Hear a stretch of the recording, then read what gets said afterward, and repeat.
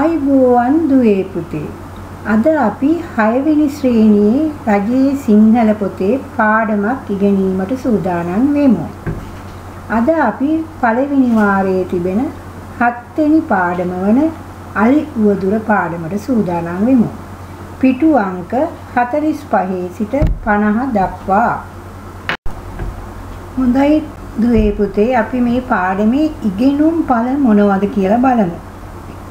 නවතම භාෂා ශෛලියක් හඳුනා ගැනීම පළවෙනි එක. දෙවෙනි එක මෙහි භාෂාව වර්තමාන භාෂාවට වඩා වෙනස් බව. තුන්වෙනි එක තමයි විශේෂණ පද හඳුනා ගැනීම. හතරවෙනි එක නිවැරදි උච්චාරණය ඇතුව කියවීම. පහ නිවැරදි හඬ පාලනයෙන් යුතුව කියවීම. හයවෙනි එක මනා වේගයෙන් වේගයක් පවත්වාගෙන කීම. හත්වෙනි එක විරාම ලකුණු වලට අවනතව කියවීම.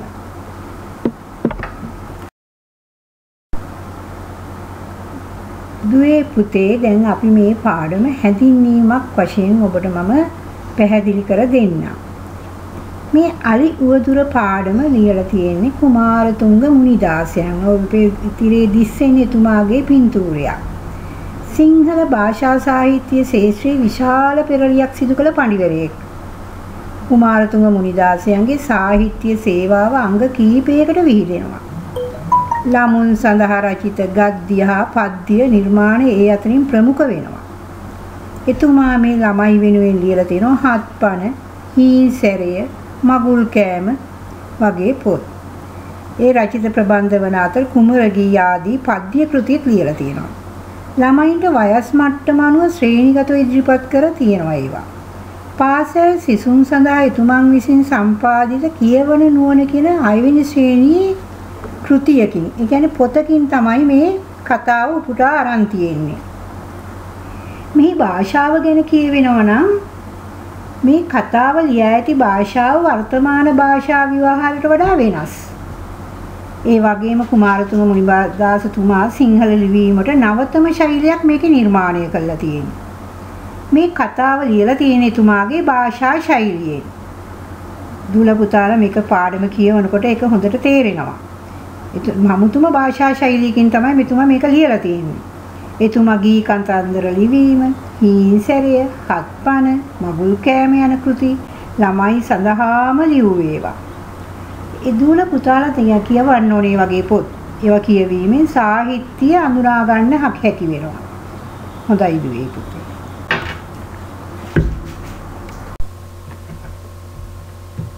හොඳයි දුවේ පුතේ මේ පාඩම මං කිව්වනේ මේක ලියා ඇති භාෂාව වර්තමාන භාෂාවට වඩා වෙනස් කියලා.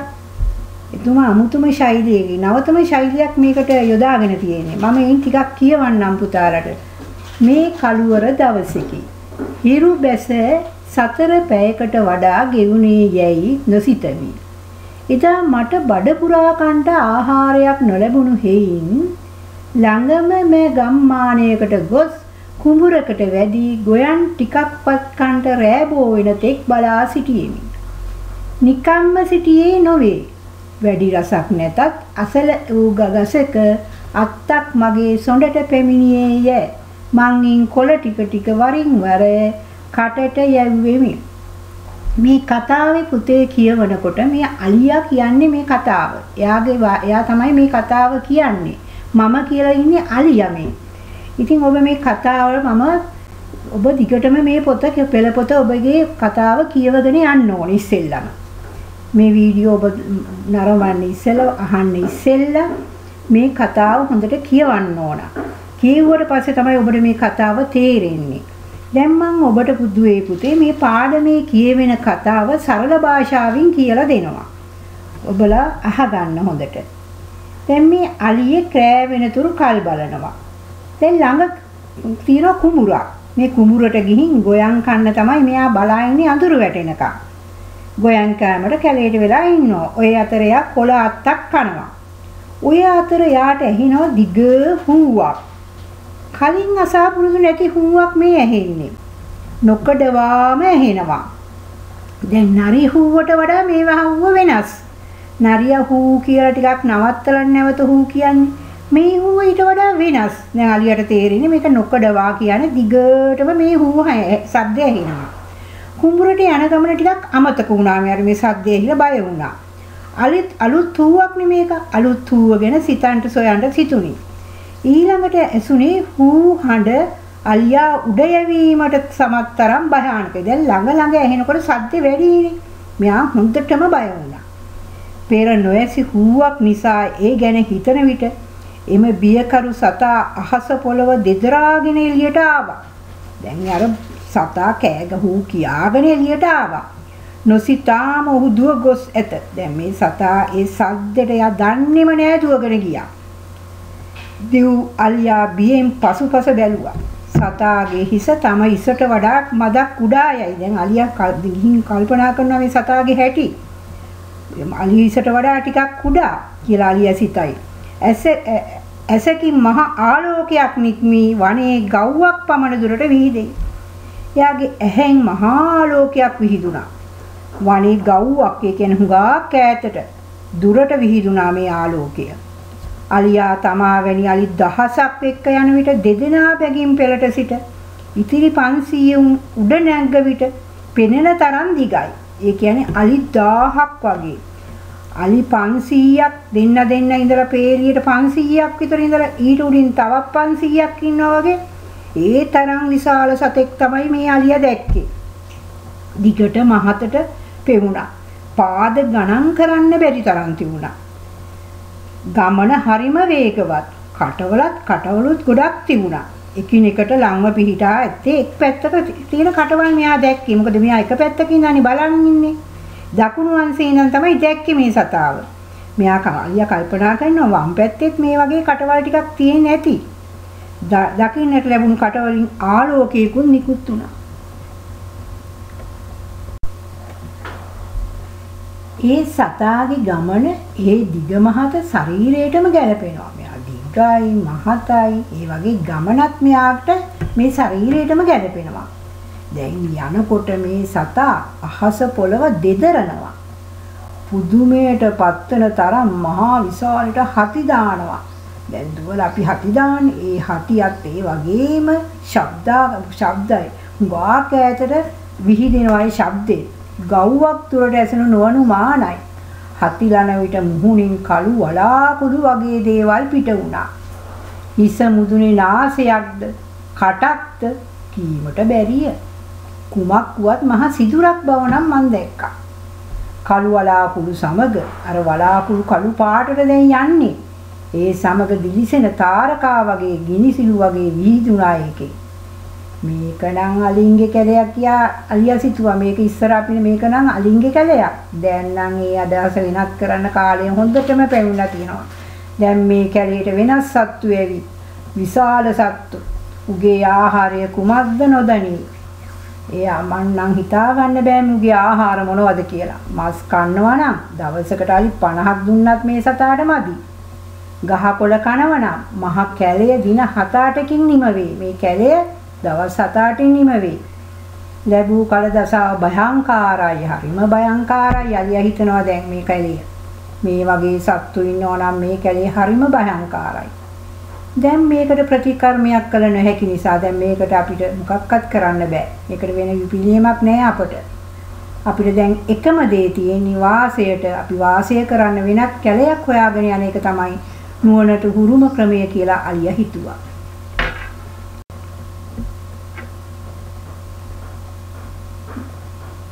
දුවේ පුතේ මම මේ පාඩමේ කියවෙන කතාව සරල බසින් ඔබට පැහැදිලි කර දුන්නා. දැන් ඔබ මේ කතාව කියව කියවන්න ඕනේ නැවත වාරයක්. මේ කතාව කියවනකොට අපිට අන්තිම වෙනකම් මේ සතා කවුදයි කියලා හඳුනා ගන්න අපිට ටිකක් අමාරුයි. අපිට කුතුහලයක් තියෙනවා. කවුද මේ සතා? කවුද මේ සතා කියලා. කුතුහලයක් තියෙනවා. අන්තිමට අපිට කියවුවාම තේරෙනවා පුතේ මේ මේ අලියට කවදාවත් නොදුටු මේ දුම්රියක් තමයි මේ දැකලා තියෙන්නේ. මේ කෝච්චියක්. ඉස්සර තිබුණේ පුතේ මේ ගල් අඟුරු කෝච්චි. ඒ කෝච්චි කළුම කළු පාටයි. දොරවල් පැත්තකින් තියෙනවා දෙපැත්තේ දොරවල් තියෙනවා. ඒවා තමයි අර මුඛ වගේ දැක්කේ. ඊළඟට දුම් යනවා ගල් අඟුරු වලින් මේක එන්ජින් එක ක්‍රියාත්මක වෙන්නේ. ගල් අඟුරු වලින් අර පිට වෙන දුම යනවා. ඒ දුම තමයි දැක්කේ. ඒවෙන් අර තරු වගේ විහිදෙනවා. ඒ ගිනි අඟුරු වගේ වීසි වෙනවනේ. ඒවා තමයි මේ අලියා දැක්කේ. අර මුඛව කියන්නේ දොරවල් ටික දැක්කේ. දකුණු පැත්තේ විතරයි කිව්වේ කටවල් තිබුණේ. දැක්කේ. අනිත් පැත්තේ ඇති කියලා අලියා සැක කරානේ. ඒ දොරවල් දැක්කේ. ඊළඟට කකුල් රාශියක් තියෙනවා කිව්වනේ. ඒ කකුල් කියන්නේ අර රෝද ගොඩක් තියෙනවනේ දුම්රියක. ඒ වගේ මේ අලියා දැක්ක පුදුම සතා තමයි මේ දුම්රිය. අර දුම් පිට කරගෙන යන්නේ. දැන් මේ වගේ දුම්රියවල් අපි දකිනවා අඩුයි පුතේ. සාමාන්‍යයෙන් එකක් හෝ දෙකක් අපේ ලංකාවේ තියෙනවා. නමුත් දැන් වැඩ කරන්නේ ඔක්කොම එන්ජින් වලින් වැඩ කරන ඒවා ඉස්සර තිබුණේ එන්ජින් එක ක්‍රියාත්මක වුණේ දැන් දීසල් බලයෙන්. දැන් ඉස්සර එහෙම නෙමේ පුතේ ගල් අඟුරු බලයෙන් තමයි මේ කෝච්චි ක්‍රියා කරේ. එන්ජින් එක ක්‍රියාත්මක වුණේ. ඒවා පිච්චෙනකොට තමයි අර දුම යන්නේ. මේකට අර හූ කියගෙන කොහොමද කෝච්චි අර හෝන් එක ඒව සද්දෙනේ. ඒ බය තමයි මේ අලියට තිබුණේ. යා කවදාකවත් දැකලා නැහැ. ඒකයි මේ පුදුම සතා. අලියා දුටු පුදුම සතා තමයි මේ දුම්රිය. හොඳයි පුතේ. අරුත් පැහැදිලි කිරීම දැන් බලමු. නොබැසම කියන්නේ අඩු නොවි. නොනැගෑම වැඩි නොවි. සිත නටවන්නේ කියන්නේ සිතවන්නේ. හිතෙන්නේ කියන එකයි. දිසා මාරුවක්, පැති මාරුවක්. තියුණු කියන්නේ සියුම්, තීක්ෂණ කියලා කියන්නේ. පරීක්ෂාකාරී වීම, විමසිලිමත් වීම. භයංකාර, බියකරු, බියගෙන දෙන. පාදයෝ කියන්නේ කකුල්, පා. අලි වැලක් කියන්නේ අලි පේලියක්. මුඛ, කවුළු, ජනෙල් වලට කියනවා. මුඛ කියලා කටත් කටටත් කියනවා. මහත් ගණනක් විශාල ප්‍රමාණයක් වැඩි ගණනක් දක්ෂිණාංශය කියන්නේ දකුණු පැත්තේ. ඔය දක්ෂිණ අංශය කියන වචන දෙක එකතු වෙලා තමයි දක්ෂිණාංශය කියලා වචනේ හැදෙන්නේ. වාමාංශය කියන්නේ වාම අංශය කියන වචන දෙක එකතු වෙලා තමයි වාමාංශය කියලා හැදෙන්නේ. වම් පැත්ත. විවරය සිදුර විවෘත වූ කොටස. මැද තුරෙහි කියන්නේ මැද හරියේ. අනාදි කාලයක් ඉතා ඈත කාලයේ සිට මස් පුදින්නෙක් කියන්නේ මස් කන්නේ ලැබූ දසාව ලැබූ කල දසාව අප්‍රතික්‍රියා අවස්ථාව කියන්නේ ප්‍රතිකර්මයක් කළ නොහැකි අවස්ථාව කඳ මැදට කියන්නේ ඉතා සමීපයට කට ළඟටම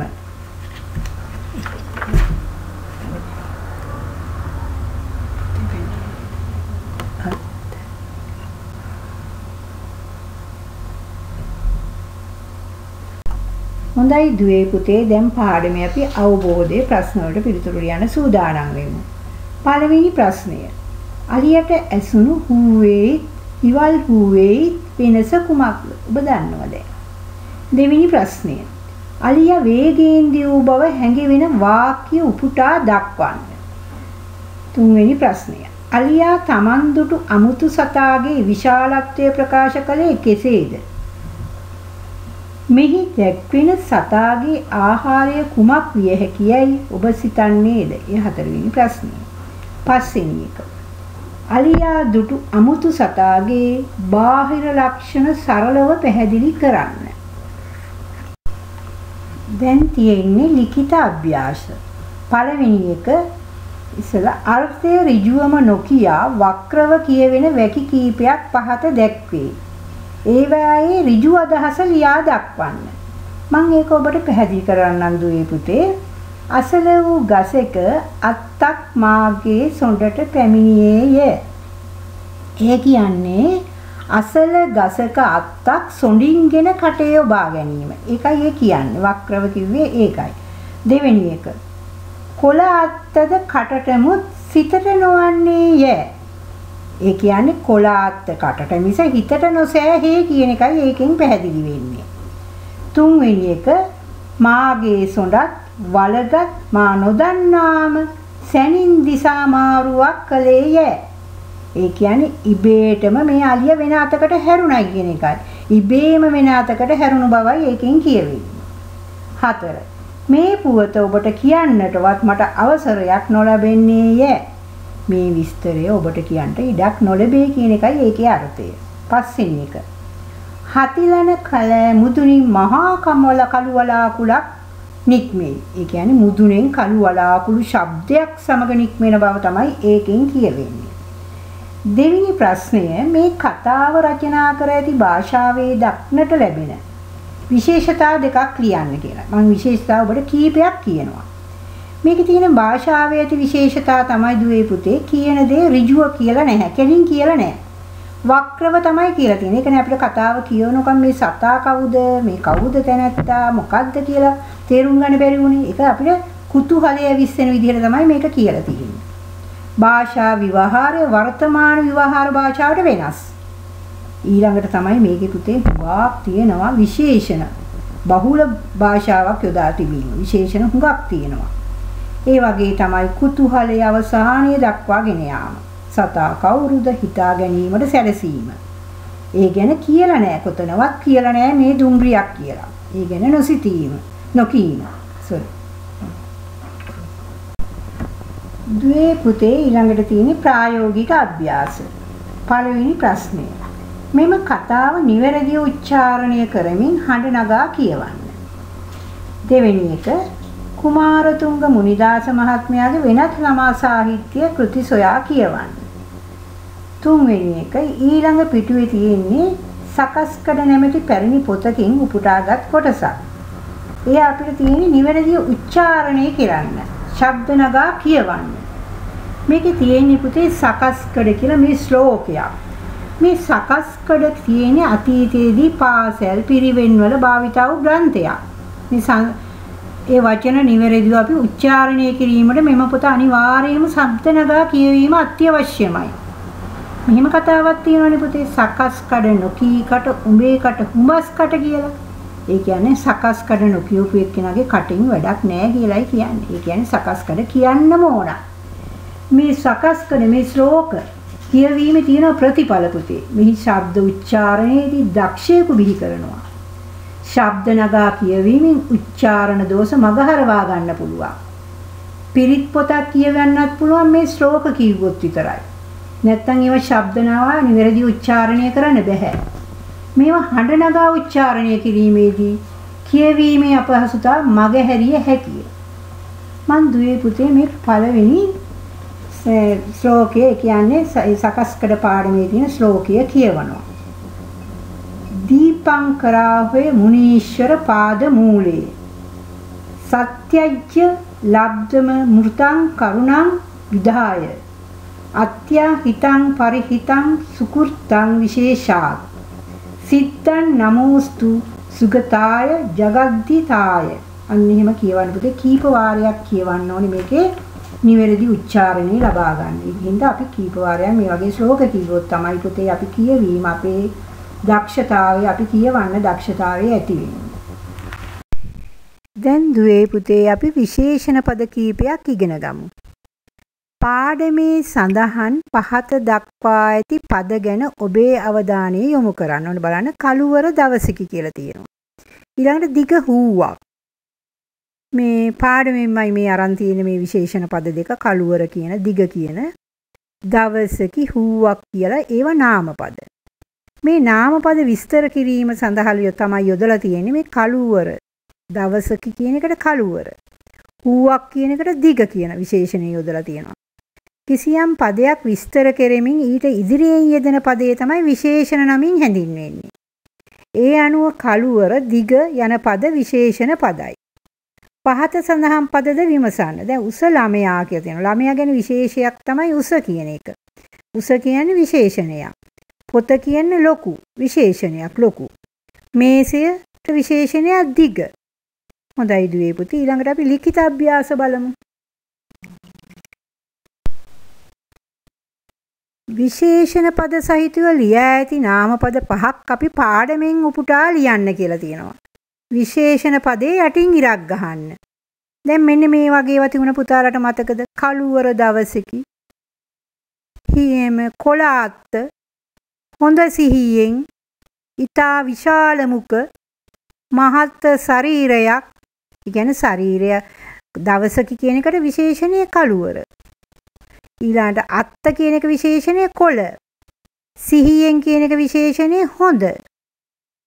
මුඛ කියන එකට තියෙන විශේෂණ පද දෙකක්. ඊටා විශාල. ශරීරයක් කියන එකට විශේෂණේ මහත. අන්න ඒ වගේ ඒවා ඔබ හොයන්න පුතේ පොතේ. හොයලා විශේෂණ පදයට ඉරක් අඳින්න. ඊළඟ දෙවෙනි ප්‍රශ්නය. පහත සඳහන් විශේෂණ පද එක් පදයක් නාමපද දෙකක් සමග වන ආකාරයට යොදා වචන 10ක් සකස් කර ලියන්න. ඒක පුළුවන් පුතේ. දැන් අපි මම උදාහරණයක් වශයෙන් කියනවා සුදු ගවුම කියලා. අපි සුදු ගවුමට සුදු නංගි සුදු ගවුම හැඳ පාසලට ගියාය. අපි ඕනනම් සුදු මල කියලා දැම්මොත් අම්මා වට්ටියට සුදු මල් නෙළුවාය. එහෙම පුළුවන් කීයද මේ විශේෂණ පද යොදලා වාක්‍ය හදන. ඒ වගේ අනිත් වාක්‍ය හතරත් ඔබ හදන්න. ඊහත අභ්‍යාසයේ සකස් කළ විශේෂණ සහිත නාමපද යොදා ඒ විදිහට වාක්‍ය නිර්මාණය කරන්න. ඔබට තව විශේෂණ පද කීපයක් තිරේ දිස්සෙනවා. ඒවත් හොඳට කියවලා බලන්න. හොඳයි පුතේ. හොඳයි දුවේ පුතේ අපි අද ලස්සන පාඩමක් කරා අලි උවදුර. දුල පුතාලා මේ පාඩම හොඳට කියවලා තව අවබෝධයෙන් කියවලා මේ ප්‍රශ්න වලට උත්තර ලියන්න. ඔබ සැමට තෙරුවන් සරණයි ආයිබෝවන්